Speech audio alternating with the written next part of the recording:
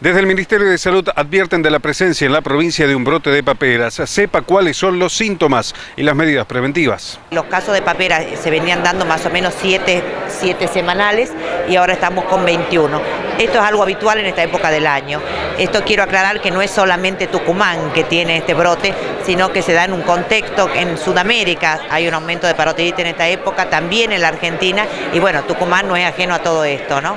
Lo más importante es la prevención, porque esto se puede prevenir. Tiene una prevención primaria que es a través de la vacuna, que es la triple viral, que tenemos que tener todos los niños al ingreso escolar, que seguro la mayoría la tiene, pero en algunos casos se pusieron la doble viral. Acá lo que protege es la triple viral y eh, lo segundo, la prevención secundaria, cuando tenemos los síntomas, avisar, cosa de que los compañeros y demás chicos que estén alrededor eh, no compartan los mismos utensilios, no compartan los vasos, los cubiertos, esas cosas que a través de donde se transmite, ¿no?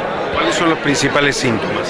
Eh, bueno, es dolor, dolor en la cara, este, inflamación de la región donde está la glándula parótida, que es esta zona, ah, por la oreja, generalmente se levanta el lóbulo de la oreja, y eh, fiebre. ¿De qué manera se contagia?